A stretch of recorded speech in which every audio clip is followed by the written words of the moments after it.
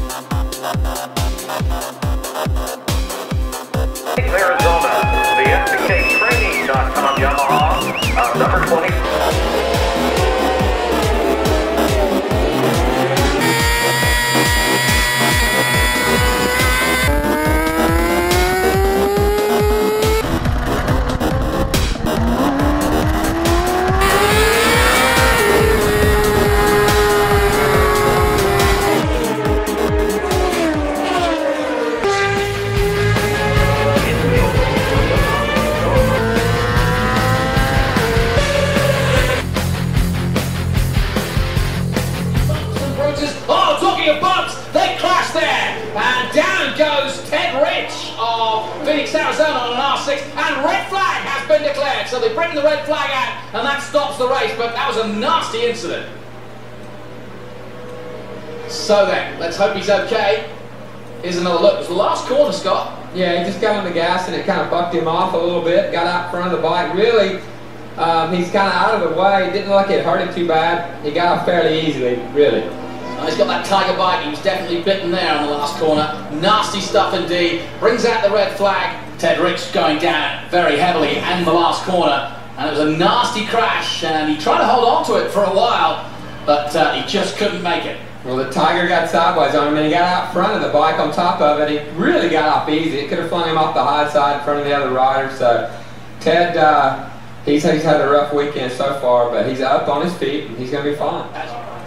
The number 26, Ted Rich, with a big moment there. Ted, you look like you're okay. Can you tell us what happened and how are you feeling? Um, a little beat up. Um, came out of 11, lost the rear, tried to save it, got rode it for a little bit, and then finally threw me down. And uh, you know, I was a little beat up from this morning from the e-bike crash where Shelina crashed in front of me, and I, I hit her bike. And so it's been a rough day, but uh, we're all good. We'll be back for some more. Uh, you'll probably see us at Indy on the e-bike, and uh, we'll be back in DSB and uh, feeling better, I hope. Well, Ted's pretty upbeat after two crashes this weekend, I must say. So we'll see him at Indy, it sounds like.